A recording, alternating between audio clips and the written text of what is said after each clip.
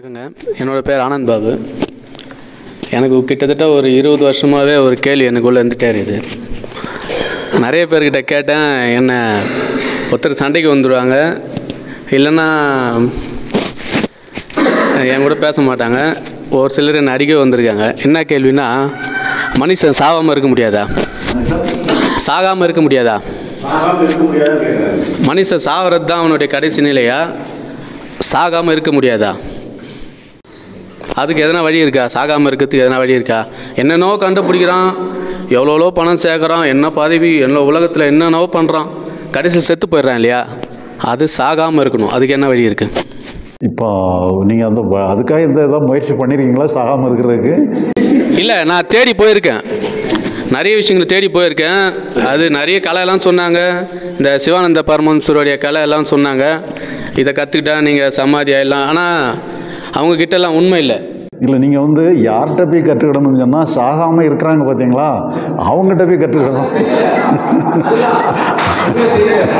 ஒரு சித்தர்கள் வாழ்ந்தாங்க சாகாமல் இருந்தாங்கன்னு சொல்கிறாங்க ஆனால் எனக்கு எப்படி சொல்கிறது சித்தர்களை நான் நேரில் பார்க்கல இல்லையா? சித்தர்கள் இருந்தாங்கன்னா அவங்க கிட்ட கேட்டுடலாம். அப்போ இந்த கேள்வி யார்கிட்ட கேட்கறது நான்? இல்லை நீங்கள் சாகாமல் ஒரு நூறு நூற்றம்பது வயசில் இருக்கிறவங்ககிட்ட போய் கேளுங்க. கேட்டிங்கன்னா தானே சரியாக இருக்க முடியும். இப்போ நாங்கள்லாம் சாகக்கூடிய ஆட்கள். சாகக்கூடியவங்ககிட்ட போய் சாகாமல் இருக்கிற எப்படின்னு சொன்னால் நானே சாக போகிறேன் நூற்றி ஐம்பது வயசு நூற்றி ஐம்பது வயசு கூட இருக்கலாம். நூற்றி ஐம்பது வயசுக்கு அப்புறம் செத்துருவாங்க இல்லையா? ஆனால் சாகாமல் இருக்கணும். அதுக்கு என்ன வழி இருக்குது இல்லை அந்த மாதிரி ஆட்கள்கிட்ட தான் போய் கேளுங்கன்னு சொல்கிறேன் இல்லை அது அது தேடுறவங்க தானே பா நான் தேடலை. இட்டா இருக்கிறேன். நீங்கள் தேடுங்க தேடணும்னா நீங்கள் போய் கேளுங்க கண்டிங்கன்னா என்கிட்டையும் சொல்லுங்கள் நான் தேடிட்டு தான் இருக்கேன் நிறைய நிறைய இடத்துல தேடிட்டு தான் இருக்கேன். எங்கெங்கேயோ போயிருக்கிறேன் சுற்றி இருக்கிறேன். ஆனால் எனக்கு உண்டான கேள்வி இன்னும் பதில் கிடைக்கவே இல்லை. இல்லை இப்போது உதாரணமாக இப்போ நாம் இறந்தே போயிட்டோன்னு வச்சுடுங்க இப்போ நீங்களே தான் முதல்ல இறந்தீங்கன்னா இறந்தது முதல்ல உங்களுக்கு தெரியாது. பக்கத்தில் உள்ளவங்களுக்கு தான் நீங்கள் இறந்ததே தெரியும். உங்களுக்கு இறந்ததே தெரியாது. ஏன்னா நீங்கள் இருக்கிற மாதிரி தான் அவங்களுக்கு தெரியும். நீங்கள் வந்து இல்லாமல் போன மாதிரி உங்களுக்கு தெரியாது. இப்போ நிறையா நம்ம கூட இருக்கிறவங்களே நிறையா பேர் இருக்கிறாங்க. அவங்க பாடி விட்டு வெளியே வந்துடுவாங்க அப்படி பாடிக்குள்ளே போயிடுவாங்க. அப்படி என் கூட இருக்கிறவங்களே நிறையா பேர் இருக்கிறாங்க அப்படி. அது வந்து இந்த சூட்சும சரீரம்னு சொல்லி ஒரு சரீரம் இருக்குது அந்த சூட்சும சரீரம் தான் வந்து உண்மையிலே நம்முடைய மனோ சரீரம் அது. அது வந்து அதுக்கு இறப்பு கிடையாது.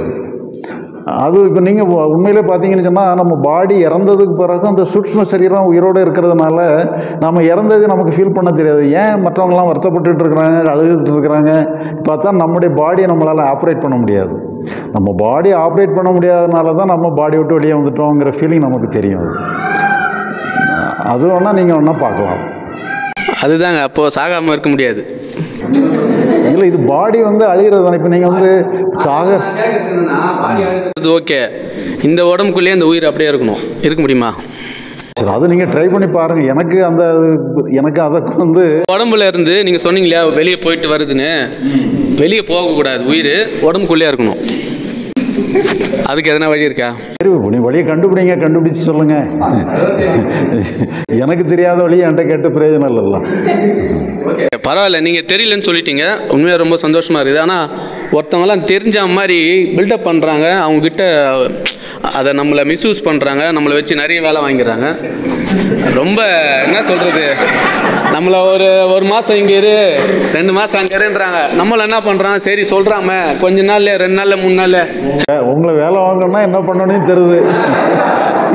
அந்த மாதிரி பண்ணுறாங்க ஒரு பதினஞ்சு நாளில் காட்டுக்குள்ளெல்லாம் இருந்திருக்கிறேன். எப்படி சொல்கிறது இந்த பரதேசி மாதிரி அந்த மாதிரிலாம் இருந்துருக்கிறேன். அந்த மாதிரிலாம் இருந்திருக்கேன் என்னென்னோ பண்ணியிருக்கேன். ஆனால் கொஞ்ச நாளே தெரிஞ்சிடும் இவங்க அட இதெல்லாம் உண்மை இல்லை இவங்ககிட்ட. இவங்க வந்து நம்மளை மிஸ்யூஸ் பண்ணுறாங்க நம்மளை ஒரு கையால் வச்சுக்கிறாங்க. அப்படி தான் தோணுது தவிர அது வரைக்கும் நீங்கள் தெரியலன்னு சொல்லிட்டீங்க. உண்மையாக நல்ல விஷயம். அதாவது நம்ம புராணங்களில் வந்து இந்த இது ஒருத்தர் ஒரு காகபுசுண்டர்னிட்டு சொல்லி ஒரு சித்தர். அவர் காகம் வடிவத்தில் இருப்பாருன்னு சொல்லி அவரை சொல்லுவாங்க. அவருக்கு மட்டும் அழிவே இல்லைன்னு சொல்லி அவருக்கு சொல்லுவாங்க. அவர் வந்து உடலோடே இருக்கிறாரு. அழிவே இல்லைன்னு சொல்லி அவரை சொல்லுவாங்க. அப்போ அவர்கிட்ட போய் நாரதர் போய் கேட்குறாரு எத்தனையோ ஜென்மங்களாக யாரெல்லாமோ வராங்க போகிறாங்க அழிஞ்சு போயிடுறாங்க ஆனால் நீங்கள் மட்டும் அழிவில்லாமல் இருக்கிறீங்களே என்ன காரணம்னு சொல்லி அவர்கிட்ட கேட்குறாங்க அப்போ ஒரே பதில் என்ன சொல்லணும்னு சொன்னால் அது அப்படித்தான் இருக்கிறதுன்னு சொல்லி முடிச்சிடுறாரு. காரணம்லாம் ஒன்றும் சொல்லலை. அது அப்படி தான் இருக்குது ஆ கண்டிப்பாக நீங்கள் அவர்கிட்ட போய் கேட்டுக்கலாம். தேடுங்க. தேடி போய் கண்டு உங்களை காகு சுண்டர் எங்கே இருக்காருன்னு கண்டுபிடிங்க.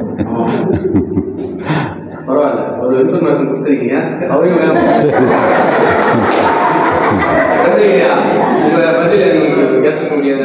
சரி.